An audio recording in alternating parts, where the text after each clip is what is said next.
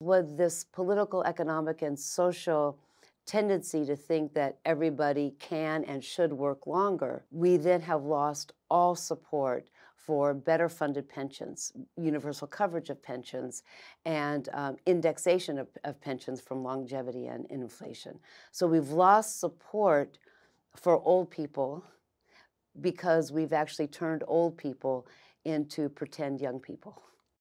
I'm Teresa Ghilarducci. I'm the author of Work, Retire, Repeat, The Uncertainty of Retirement in the New Economy, and I'm a professor of economics um, at the New School for Social Research in New York City. You probably remember the Washington Consensus, and for everybody else who doesn't remember it, um, the Washington Consensus referred to a doctrine that really guided a lot of policy um, the International Monetary Fund policy, world policy, most leaders in, um, in developed worlds. And that was the idea that in order to make the world better, to make it more equal, to bring um, uh, low income countries up to the middle and even higher uh, um, income countries, to make people grow and grow in a way that was shared, shared prosperity, where free markets, um, lower trade restrictions, um, lower welfare payments, get everybody to work by taking away their, their benefits. And that was very much a consensus among um, people who were modern and, and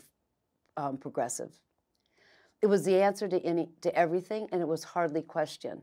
I'm finding another consensus um, being developed, and that's the idea that solutions to our aging populations, which is because we've really curbed a lot of infant mortality and um, people are living longer at age 50, at age 60, a little bit at age 80, but that's not as important. It's just really getting people, you know, into their retirement years. And the fact that we've underfunded pension plans.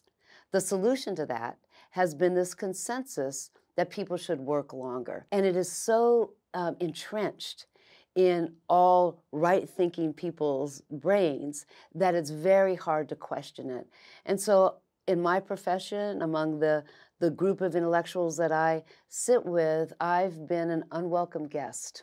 I have been the person to say, hey, there are hidden costs to this so called policy free lunch, where we get to solve our, our pension system and our aging, um, our aging populations with this really neat, free fix, which is to um, make people work longer and to grow the workforce um, with people over 65.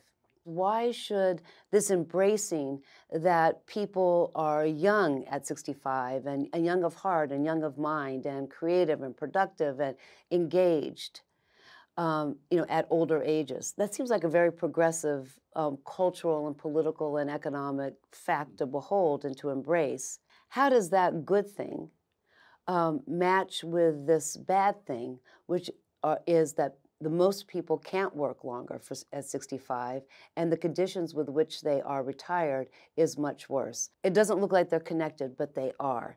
Because with this political, economic, and social tendency to think that everybody can and should work longer, we then have lost all support for better funded pensions, universal coverage of pensions, and um, indexation of, of pensions from longevity and inflation. So we've lost support for old people because we've actually turned old people into pretend young people.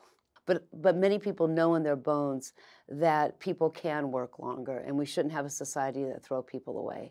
So I am not in favor of throwing people away, and I am in favor of a progressive country letting any adult who wants to work to work as long as they want without fear of age discrimination. So let's set that aside. But the myths behind the idea that it's good policy to solve our problems by making people work longer is based on three things that are wrong. The first one is that work is good for people. In fact, a big part of this book is to review the extensive literature in, in fields that aren't my own, that are in gerontology and, and psychology, sociology, um, even anthropology, that shows that um, being engaged, controlling the pace and content of your, of your time, having meaningful things to do, those are all good things. but work does not deliver those good things to most people. And in fact, if you are, for example, an older woman who is in the service sector or in the home health um, care sector, the actually largest and fastest growing occupation in most countries, if you're an older woman in that profession, work kills. It kills by raising your cortisol levels um, because you're under constant stress of being subordinate. It kills because it, um, it disrupts your sleep um, cycle, which mediates through cortisol and heart disease, and it also kills because it's um, physically demanding. It isn't just women in those occupations, it's any older person who is in a physically demanding or job or a job where they're subordinate to somebody, which is to say, most older people are in those kinds of jobs. One thing that I want to pic- draw a picture for everybody is to, um, the next time you're out and about, scan the landscape of the age of the workers in the various places that, you're, that you are at. Or lift up the veil when you press the button on Amazon because almost everything you're doing in your life now, every commercial transaction, is involving an older person who has become a precariat because they don't have enough to live on in retirement. Um, we are finding among the elder populations evidence for injuries that come from stooping and bending, and that's basically warehouse work, and it's basically in Amazon warehouses look behind, you know, the counter at CVS, and you're, you're going to see Granny, you know, taking her cane and going to the cash register. And it's different other parts of the life. New York is a little younger workforce, but go anywhere else and you see this phenomena. Go anywhere else in Europe and you don't see this phenomena. There's another myth, and that's the idea that if somehow we pay for pensions, and we can talk about policies to do that and how much they cost. But if we pay for pensions or embrace this idea that older people should retire, then we're taking money away from children. This idea of greedy geezers are taking away from people, and I hear it all the time. Just the other day, a progressive person said, Well, teachers' pensions are so expensive and are causing, you know, schools to close their libraries, as if teachers, you know, were public enemy number one, or old people are public enemy number one because they need pensions. Um, I look at 186 countries over a 30 year period. And the countries that take care of their old are also countries that take care of their young. So spending for children and spending for the old people are correlated, not uncorrelated. So there is no, there's no evidence that providing for vulnerable older people takes away from children. And um, the third one, the third myth, is that we can't afford for people to um, to retire. It's a myth because we spend a huge amount of money on rich people's pensions through the tax code. In in economics, it's called the hidden welfare state. It's the hidden welfare state. It's hidden because it goes to the top. We spend 250 billion dollars per year in tax breaks for people to save in their retirement funds. And the people who save in their retirement funds are higher income people at higher marginal tax rates. So they get basically thousands of dollars from the government. Somebody who is at a lower wage, a lower tax rate, who saves the maximum into their retirement plan gets um, $100 or $50. So it's like $100 to the lower middle class person and seven to $10,000 to the high income person and that costs $250 billion for a year. So the money is already there. And so I know people don't like the word, but a little bit of redistribution is in order. It seems as though I'm just talking about what we need for people over 65, but I'm actually talking about the hidden cost of people working longer to us right now.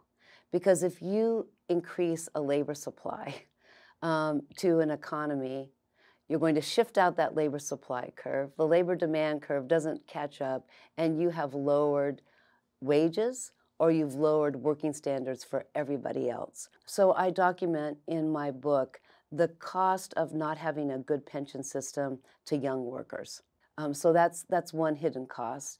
The other um, hidden cost is the increase in inequality of some of the most basic things we care about. So, if one thing that we care about is dignity as you age and the dignity of worker. And part of that dignity is to have the time to create your own personal narrative, which often means controlling the pace and content of your time, connecting to what you care about, connecting to nature, connecting to other individuals. And you deny that to some parts of the population and not another. The hidden cost is the dignity of your nation. We know that um, longevity and health has become much more unequally distributed. So at the same time, we're forcing people without money to work longer. We also have built a system where they get sicker faster and die earlier. So the hidden cost is that foreshortening of healthy retirement time, and it's a reversal to what we used to have. When Social Security and Medicare came in the 1960s um, um, and, and really increased in the 70s, you saw the bottom coming up. We saw more equality after age 65 than we did, you know, in those years before. And now we're just seeing the inequality supernova, you know, really grow um, in old age. So one of those other hidden costs is that hidden cost of inequality. The 401k um, system came in 40 years ago, and it's a failed experiment. It was never meant to be the American retirement system, or else it wouldn't have been called after an obscure section of the IRS code. It's called the 401k, but it has become the American retirement system. We know the system has failed. We are coming into a period of time in the next, you know, 10 to 20 years where we're going to have massive numbers of people who are middle class workers be downward mobile, downwardly mobile into poverty. And the hidden costs of that are what it does to communities, what it does to the aggregate demand in communities, and what it does to the adult children who have to deal with impoverished um, parents. Um, not everybody has a spare bedroom or a garage they can um, refurbish for their aging and poor, stunned parents. Um, that's, a, that's a hidden cost. Um, so the 401k system was a voluntary, individually directed commercial plan, and we were waiting around for a whole generation to work under it to see whether or not it would get an A, B, C, D, or F. And all of us experts say, well, that system was an F, except for the top 10%. And then that may raise it to a D minus. So my Gray New Deal reassembles the 401k system, reassembles the Social Security system, and reassembles our thinking about what people deserve as workers, what dignity as a worker means. Uh, and so the Gray New Deal um, increases Social Security benefits. Um, the Gray New Deal um, universalizes pensions. There is a bill going to be introduced in Congress, and I have worked about 35 years for such a bill, so I want to talk about it a little bit. It basically universalizes a pension for everybody. And it's even better than what I thought of um, with my guaranteed uh, retirement account plan 35 years ago and have written about it since because it delinks having a pension from a particular employer. That, and that really gives employers a relief because even the good ones have been trying to get their people to invest well and to put enough money in it. And the way the system is structured, the employer really can't do that. And so they feel what they're doing is a waste of time and money as well. So this bill that will be introduced in, in Congress will let everybody who doesn't have a pension today join the federal plan. The federal employees have something called a thrift savings plan, and it's a really good plan. Uh, it's um, administ- it, it's paid for by the employer and by the the worker. The administrative administrative fees are very low because there's no profit motive in it, and so the bill will set up an ancillary or a sidecar benefit for 57 million people um, to join that plan, and the government will, will provide a 3% match to their contributions. And this is something Democrats would love, and they would have, if they'd been in control, they would have passed something like this, you know, 30 years ago. But this bill has um, support for Republicans as well. And a lot of that is because of the um, protests from the Occupy, um, from the good work by Nobel Prize laureate economists, from statements from the World Bank and the IMF, from the Black Lives Movement, that this inequality of wealth is not stable. So, whatever the motivation on one side of the aisle of the, among the Democrats, the Republicans have other motivations for this bill. And um, I've been able to aid some good people who have lobbied for this, and it took a year and a half, but we've created a bill that will be introduced called the Retirement Security Act for All Americans.